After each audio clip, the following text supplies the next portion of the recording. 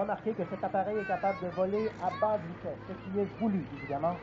de façon à pouvoir atterrir, redécoller de